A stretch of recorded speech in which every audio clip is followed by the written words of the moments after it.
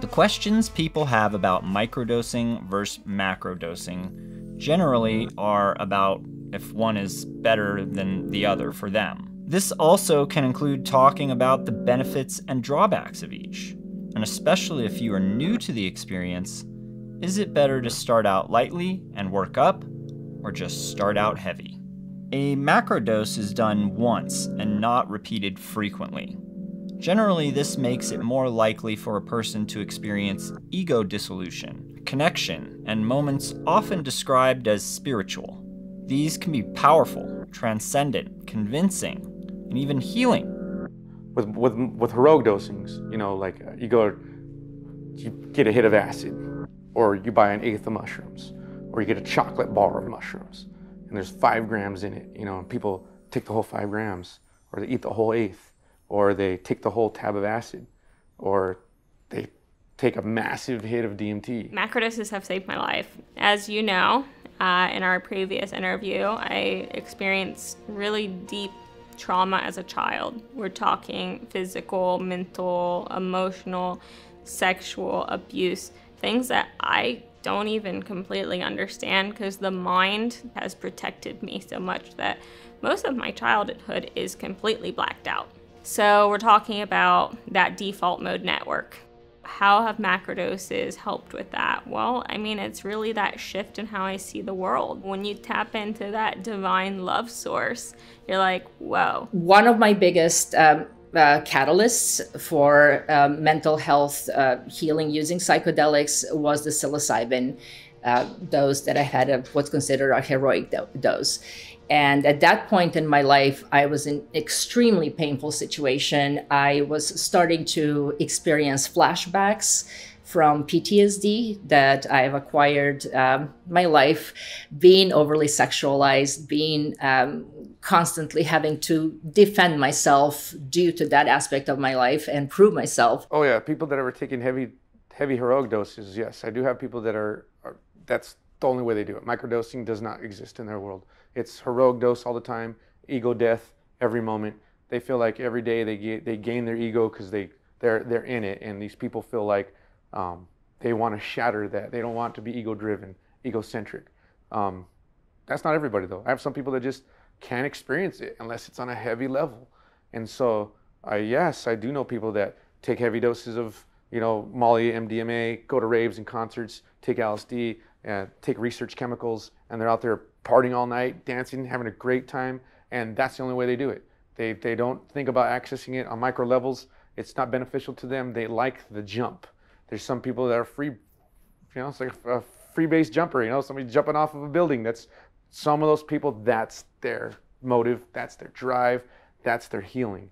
You know, my opinion of that today might be different than my opinion of that tomorrow. It's really about my anecdotal and my scientific evidence that I'm looking at. A lot of scientists get a little irritated by me because I am all about those macro doses. Like, don't even talk to me about microdosing. Why?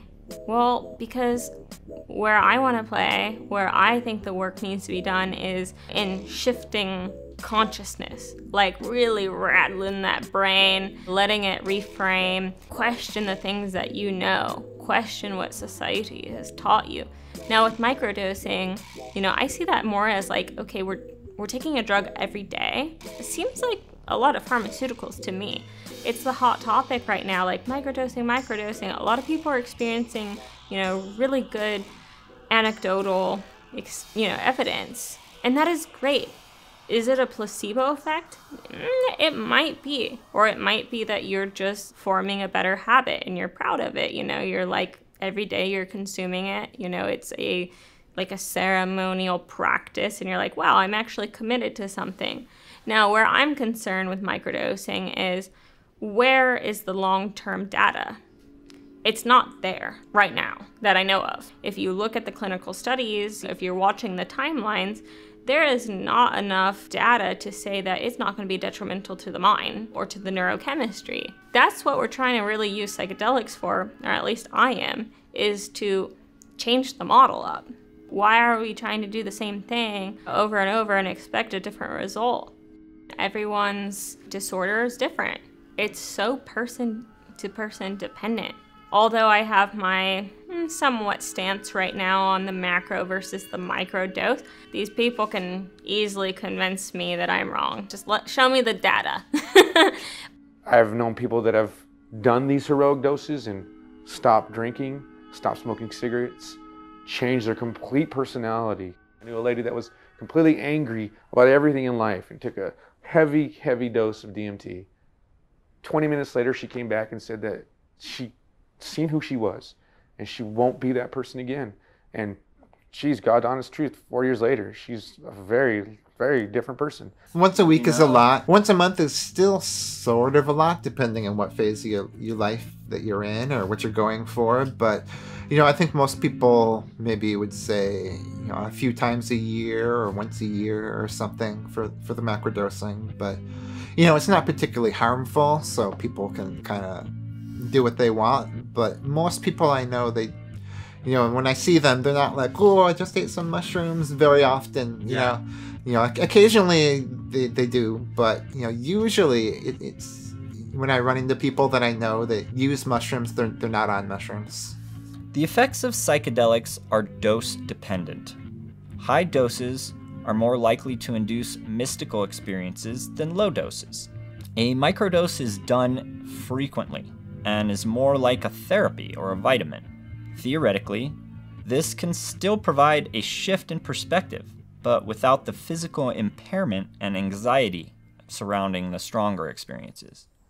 Microdosing was more of, you know, you got to, when you do those heroic doses, it's a huge space that you have to block out of your life.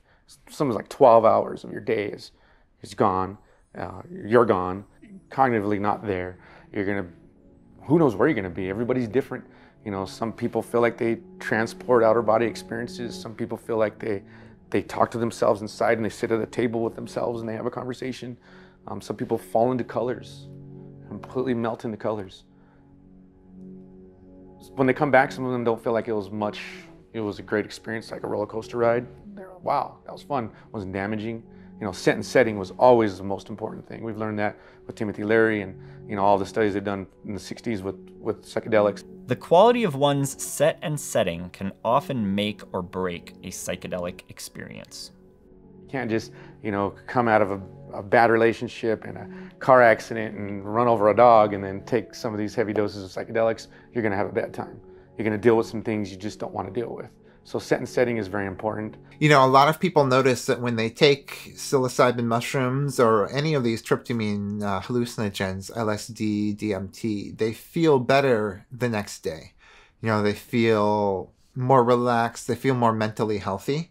It's been phenomenally great. I mean, I still go hiking and I'll eat a quarter gram of mushroom and it, it's psilocybin, or I'll take uh, a very s- small dose of LSD and it's very, very minute. When you take a very small amount of the LSD, it turns megapixel thing turns on. You go from three megapixel to 100 megapixel. Everything is very fine and tuned. There's no tracers. Colors aren't changing. Things ain't changing colors. It's not, you are not tripping. You are just focused. The data is limited, but reports from individuals participating in studies stated they experienced feeling more appreciative, observant, grateful, and creative.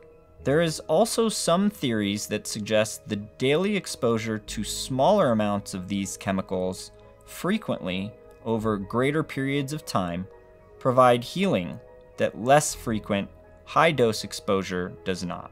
Microdosing is really popular right now. You know, I notice if, if I take a larger amount of psilocybin mushrooms, then I feel better the next day. Um, but, you know, in that time, it can be a little bit of a difficult experience. And it isn't always, but often, you know, for a couple hours, it's, it's not all pleasant. Um, I've also tried just taking really tiny amounts of psilocybin mushrooms. Um, so when I'll when I do that, I try to take an amount where if I was to take twice as much, I would feel some sort of buzz, but I don't feel anything directly. And I notice I get real similar differences in the in the following days from taking these like really tiny doses. So I noticed that you know even though I'm I'm not feeling you know trip B, I don't even feel anything directly um, they definitely affect me. I feel more mentally healthy the next day. So, you know, a lot of people kind of scoff at microdosing, but I think it really works. There is also danger of doing this too often. So there are various theories on the size and frequency of the dosing for different people. Most commonly, a microdose is anywhere from a tenth to a twentieth of the minimal macrodose amount. I don't microdose. I generally macrodose, and uh, because of access, access, you know, it's hard sometimes to get a to get a supply of this thing that helps me get through the day. And as far as you know, microdosing versus macrodosing, when I've had a lot of access, you know, uh, it's microdosing has been so positive. It's like having an umbrella from the emotional pain that bothered me and bothered, you know, made me lethargic and made me depressed so often. It, you know, it's all the positives of taking an antidepressant, antidepressant with none of the negatives. Like you can microdose LSD and your dick still works. It's crazy. The heroic dose for me, kind of like channel. I feel like it. I I plug myself into the universe. It's kind of weird. It's like the Matrix when he unplugs the thing out the back of his head. It's kind of how I feel on heroic doses. You kind of either you're plugging in or you're unplugging. It's it's, it's this heavy, whoa experience of dropping in and dropping out, and that's for some people that's very fearful and scary because you lose a lot of motor skills. Your subconscious is kind of driving now, and so you find out if a person has malice intentions. They can be kind of like a Dennis the Menace and you can get people that you know not really i haven't really seen anybody get rageful at all but i have seen people get you know get on people's nerves pick on people push buttons you know that kind of comes on people that's what really happens with heroic doses you kind of unlock your subconscious and you have no control over what is the subconscious and what is really happening so you're kind of like in this to me i feel like other people have also i've recognized it with them that the heroic doses is more of a switch off and turns on the internal drive. But we're not in that space anymore. We're, we're in a respective space of people trying to live their life, go to work. And so the heroic doses does, doesn't make sense. You know, sometimes a person will take a week off of work on a vacation. Like, hey man, uh, my first week of the vacation, I'm, I'm taking, I want to take a bunch of mushrooms, or I want to take a huge dose of LSD or something like that. For, and then the rest of the week, and just, I don't want, I don't need to do anything for a while again. I feel like that has a lot of, you get a lot of release. You release a lot out of you, a lot of, I feel a lot of depression, a lot of anxiety, a lot of angst, a lot of, oh my gosh, is this going to happen? Like, I feel like just washes that all away. You get to start fresh. Uh, the pieces aren't all mixed up and confused. It's a brand new Rubik's Cube all put together, and you, it's up to you if you want to start moving it around. That's what I feel like a heroic dose is. The microdose made a lot more sense to me in my daily activities on who I wanted to who I wanted to better myself for, myself. And that was not being in this heroic dose space where I'm seeing tracers or the walls are vibrant or melting or things are feeling awkward and weird. No, I wanted to be in a space to where maybe if I just accessed a little bit of this, it would intune me to where I needed to be intuned. but you know the happiness that I feel, um, whether it be macrodosing or microdosing, is is so different, you know, and I and I've tracked it and just the the way that it makes problems feel like water, you know, you you suddenly at least in my experience, I'm I can I can ignore the small stuff. One distinction that was made pretty clear to me when I started doing this film was that the term psychedelic carries with it some baggage there's people who believe there's some sort of a conspiracy associated with the term psychedelics and a movement to manipulate youthful minds and to control people.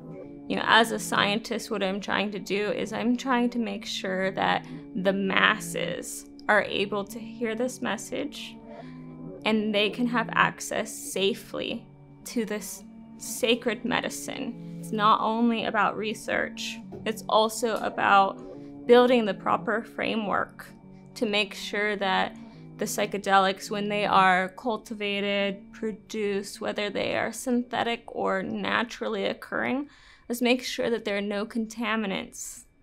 Make sure it's safe because this is a nascent renaissance and any little slip up is going to spook the horses and is going to be used as ammunition against this movement.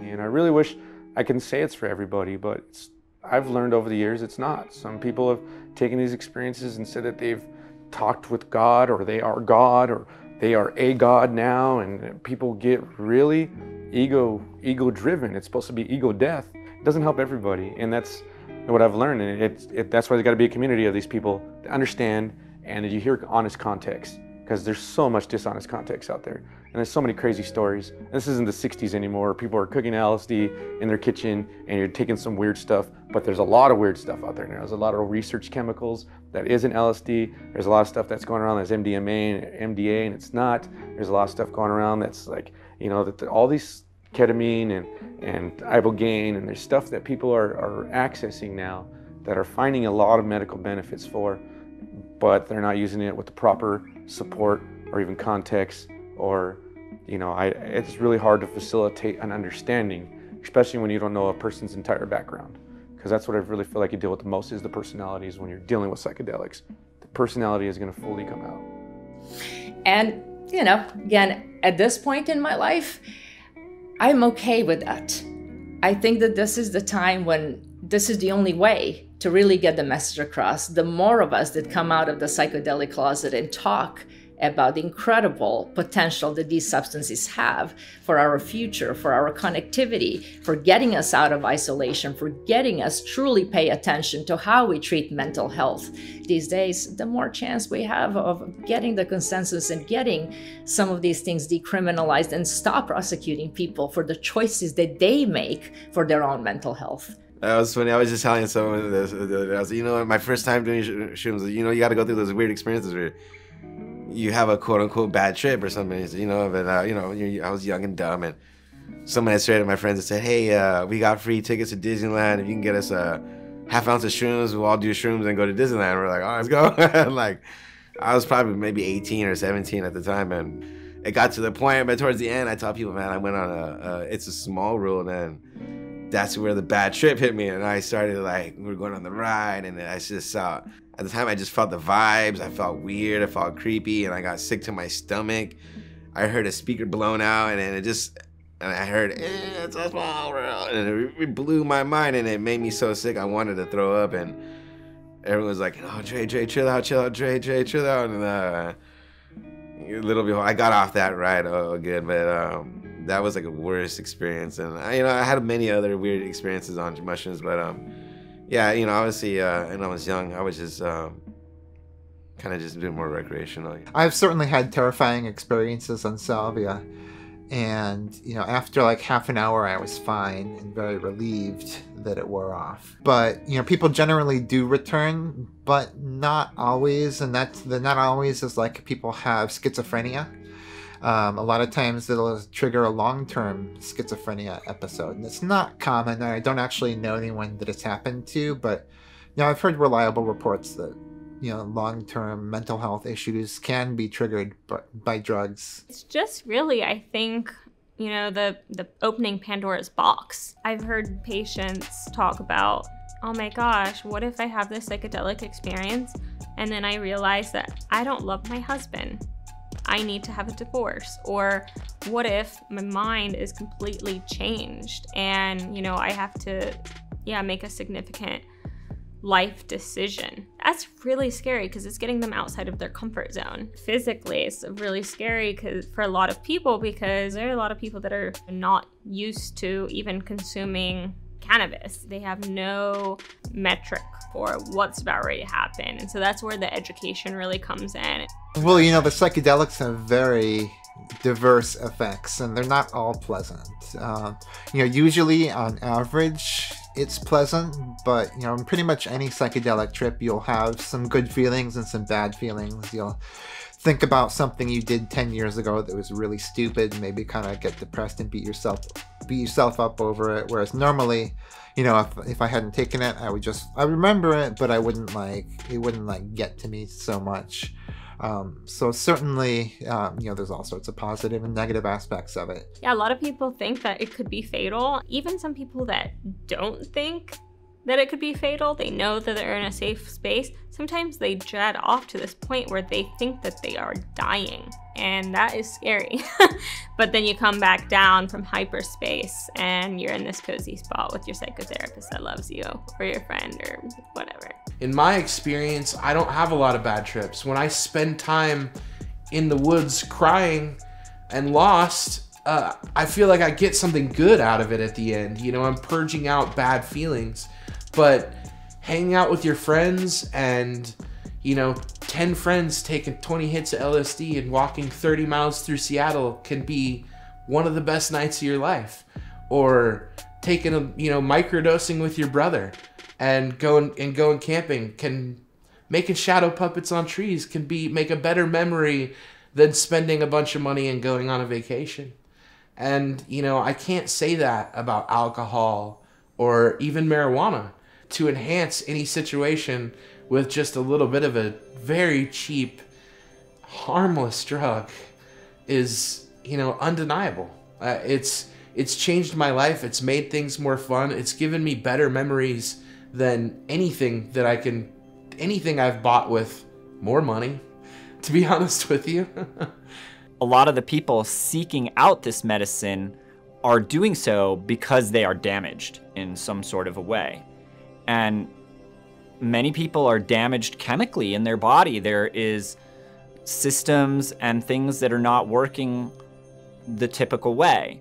And ingesting chemicals, especially large doses of these chemicals, it could really have a negative effect. So you got to be careful. It's not for everyone and then you know sometimes people take too much and they can't really uh, function so much because they're maybe at a party or they're you know out in public and they've taken too much and they need someone. And i've i've helped, definitely helped people who took too much both you know psychedelics and or took too much alcohol and they're you know not able to really safely interact with the outside world. And sometimes you just got to sit with them for a few hours and until they uh, come back to reality no one would argue that psychedelics change your brain forever when you take them. I always heard that when I was in high school. What I didn't realize is that they actually change your brain for the better. At first, I was kind of skeptical of that, but it seems like they really do. Um, you know, people that have taken psychedelics, it doesn't automatically make them a better person or anything, but people that have taken psychedelic mushrooms,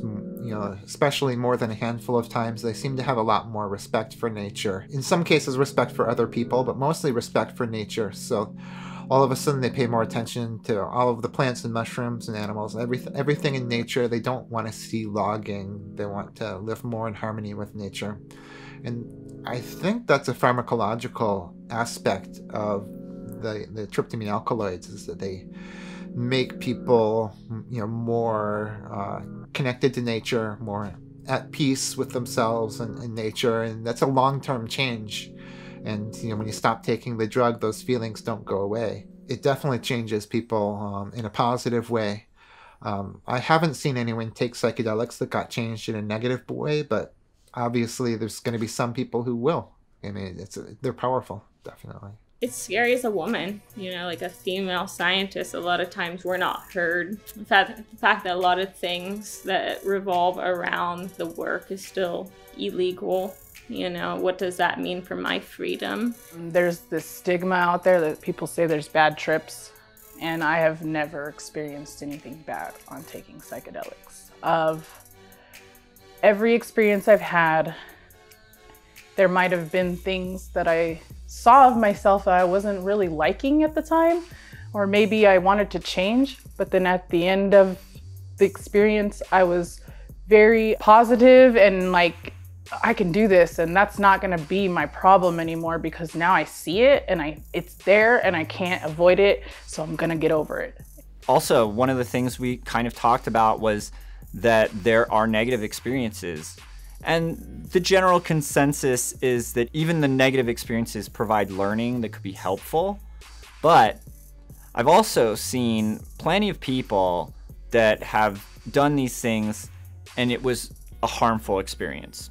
Maybe eventually it got better for them, but sometimes these things can interact with other medications. They are not for everyone. It's important to really do a, a healthy self assessment if it was possible for people to have a medical professional examine them and determine if this drug that they want to do could be harmful to them before they do it, that would be extremely helpful. In my mind, there's no bad trip. If you listen to Bill Richards, he says that you know you need to dive into the eye of the monster and that's where you'll find healing. Or if you look at rosalind watts who you know is leading the imperial college trials you know she talks about the ace model. You're first going to accept connect and then embody. It's the same thing. Dive down get the gnarly oyster crack it open look at the pearl bring it back to your life. For the person that is maybe not as knowledgeable or experienced with psychedelics, what I feel like their bad trip would be just something where they're not prepared correctly for what they're about ready to experience. And it's really scary because it is so far from what they expected. And that's where we get into set and setting. You know, first getting the mindset ready. Okay, there's some preparation. This is what you're going to potentially experience. This is what a lot of people experience. You might not, I don't know. And then the setting, you know, is so important because, you know, you want to be in a safe place. That's why I like to consume psychedelics at my house. I feel safe there. There's a lot of ketamine clinics being built that are very luxurious and you feel safe. And then another way to mitigate this quote unquote bad trip is to have someone there that you trust. Whether they are guiding you or they're very passive, where they're just like, I'm going to make sure nothing bad happens. You know, if someone knocks on the door, I'm going to say, hey, it's okay. I mean, that's a big part of the ego dissolution. You know, it's where we've built this comfort zone that we reside in. And within that comfort zone, we have a lot of uncomfortable things that we're experiencing, a lot of, you know, psychiatric uh, disorder symptoms. Despite the contrary perception of much of the public, psychedelic drugs are not addictive and are physiologically safe. There have been no known deaths due to overdose of LSD, psilocybin, or mescaline. However, risks do exist during unsupervised psychedelic experiences. But also, you know, the drugs are pretty helpful for a lot of uh, a lot of mental health conditions. So it's really hard to know whether you should recommend that somebody who has maybe bipolar um, should they take these mushrooms or the, or the LSD or DMT. And you know, some people that have it, you know, say it really helps them, and other people say that uh, you know, no, it is not good for them. And you know, I think maybe it helps. Um, definitely, it helps more people than it harms, but you know, with something so powerful, it's going to have all sorts of diverse effects if enough people take it. Psychedelics are thought to induce a hyperplastic state, where neurons more readily form new connections, allowing for deep learning. This makes the brain more receptive for new patterns of thinking, and can especially be helpful for people suffering from psychiatric disorders. Just seeing my own path of how called I was to engage in psychedelic healing after I have spent years and years of meditating, implementing wellness, mindfulness techniques into my life, it almost became a natural progression. It almost, after doing all of that for five, ten years, and then taking psychedelics, I realized what kind of the accelerated healing we're able to achieve with taking psychedelics. Not all of us have the time and the ability to take all of these classes with the experts who are teaching us breathwork techniques and meditation and yoga techniques. Not everybody is capable of taking that trip to Thailand and Bali or even Costa Rica or Peru and having a profound psychedelic experience.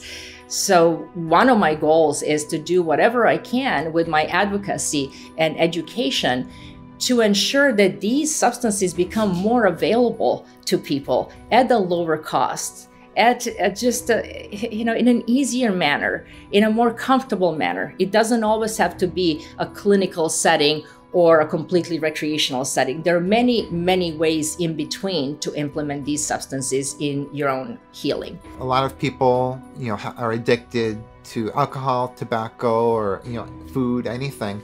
And when they take these, it kind of switches off the part of their brain that causes the depression.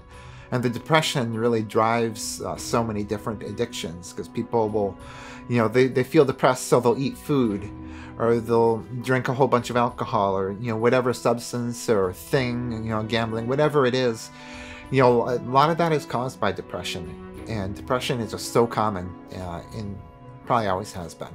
Um, so people notice that the depression just kind of goes away and they don't feel like they need you know, to, to gamble, to smoke, to drink, to do uh, a lot of these self-destructive things um, after they take the tryptamine hallucinogens. So there have been so many times where suicidal ideation, if you want to look at the documentation, started when I was in kindergarten. Most kindergartners don't even understand the concept of death, let alone suicide.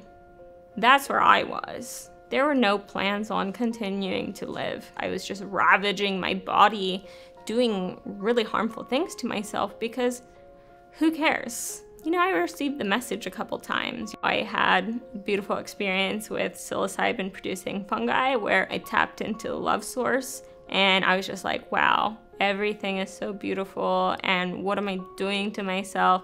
But because of the deep indoctrination and fear and that guard dog. I was so anti religion because I was so traumatized by religion that I was not willing to accept spirituality into my life. So I was like, whoa, no, let's not go there. So I received the message and then I went right back to hurting myself. Then I got to the point where one night I was just so done with the pain that I just, I was like, okay, here's the time, you know, let's go. And so I, this time I was very methodical. Basically, got all my finances in line, the best of my ability, so my family didn't have to deal with a mess. Packed up all of my belongings. Um, I found homes for my pets and here we go. And so that night, I started to first, you know, sedate myself and then started to administer a lot of substances into my body. And basically, I know at what state, or I assume to know, you know, where that point is where you enter death.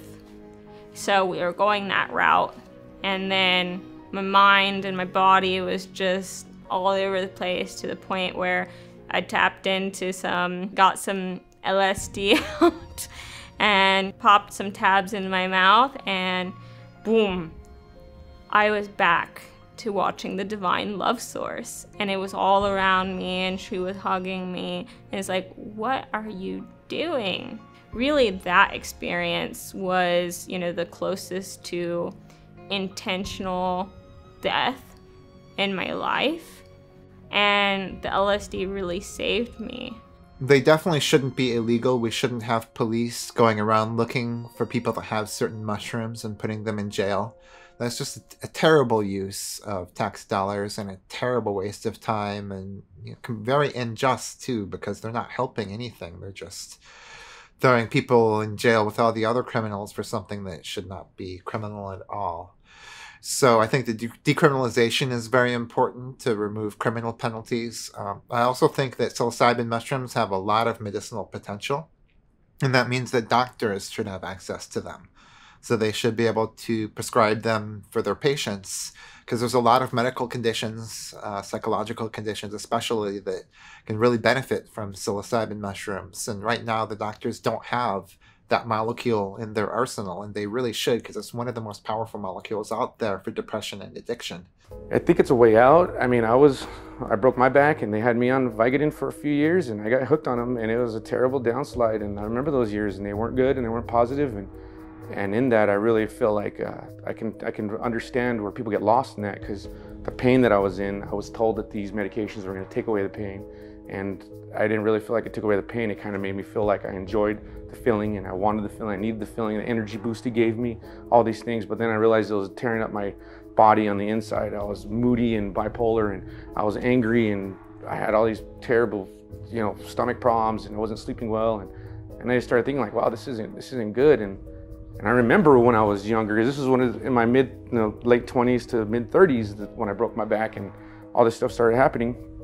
And so I was like, wow, man, uh, I should start taking these psychedelics again because it pulled me out of taking those things because I was like, man, this, the doctors keep telling me I have to take these medicines and I didn't want to. I was in pain, physical therapy wasn't working, and they're like, well, take these opiates. And so I started taking the opiates and I started realizing that I started meeting people that want to buy my opiates at the pharmacy, excuse me, at the pharmacy, get, picking up my prescription. I'd have either somebody working behind the counter after, are you selling any of these? You want to, you know, and so it was like, wow, it, it blew my mind away. And then I started, you know, there, there's, there's communities in these things. And I started meeting people and I started finding out that people that were hooked on heroin, some of them started with a prescription of Vicodin or Norco from a doctor, toothache, a, a dentist visit, a, you know, a broken back or a sprained muscle, or, and they got prescribed this opiate, this, this opiate, and then the prescription ran out. And then they found out they start buying them on the streets and they're paying quite a bit of money for these pills. And then some of these guys were like, well, why don't you just do heroin because it's a quarter of the price of what you're paying for these pills.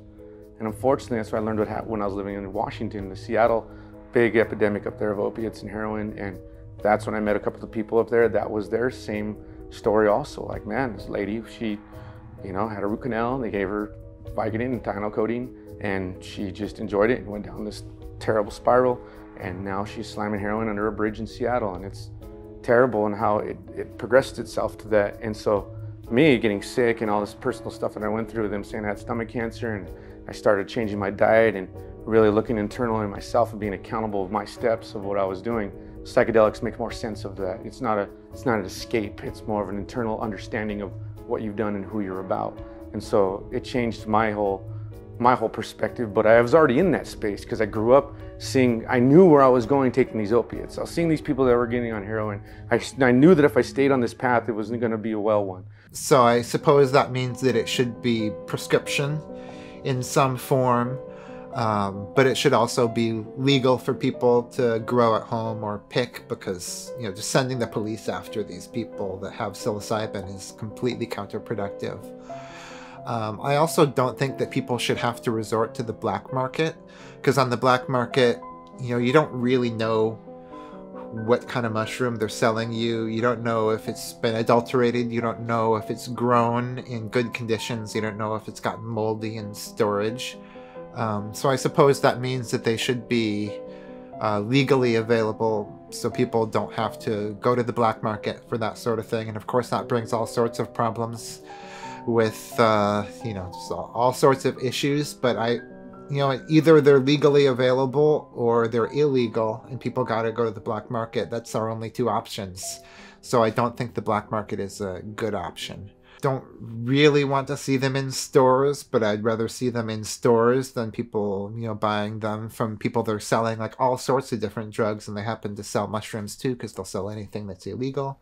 That's not really productive to be funneling people into the drug dealer market to be able to get them their medicine. Completely respect it. Context, set and settings. Make sure you're always in a safe space. Uh, good fruits and, and, and edibles, uh, water. Always keep yourself hydrated. It's a very important thing. Keep yourself hydrated. If you're gonna take a heroic dose, contact somebody. Let them know that you are going to go through this heavy experience and to not so much babysit you, maybe you can, it'd be nice if you had somebody to watch you. Um, but, you know, just somebody could check in on you, make sure you're all right. You know, that's, that's the main thing because I, nobody's died per se of taking these things, but people have done things to really hurt themselves or others. And so that's very important of set and setting, understanding yourself, and putting yourself in a space where you're not going to hurt yourself or others. I've defined my life's purpose, and it's one, I am working to destigmatize the use of psychedelics, provide a lot of solid data points. Also, I'm working to normalize mental health discussion. I'm sharing my story. I'm not afraid. I'm actually really proud. Here I am now. I'm still alive. I'm full of love. Uh, I was forged by fire. So I'm not letting the big dogs push me around anymore. I'm up there and I'm spreading love. And so here we are. I'm bouncing around, pollinating as much as I can. You know, I travel around and spread the message of what I think is the truth from my own experiences and just being a loving person, spreading the message of psychedelic healing. If there's a medicine that can help treat addiction, that's really good um, because addiction is like a really common problem and it's really serious. You know, so many people go through their lives addicted. Like probably most people go through their lives addicted to something. You know, most of that's caused by depression. So if you can make people not so dependent on their addictions for their feeling of well-being, um, and, and, really treat them, I think that would really resonate with a lot of people, even even very conservative people will um, you know understand addiction and how destructive it can, can be for people and society. None of these drugs work like a magic bullet, where you just take the drug and then miraculously you're healed from whatever problem it is that you're suffering from. Generally, the experience is that you take these drugs. Sometimes it's once, sometimes it's multiple times but there's a learning experience that comes from it. And in that learning experience, you figure out how to better cope with these problems that you're dealing with in life.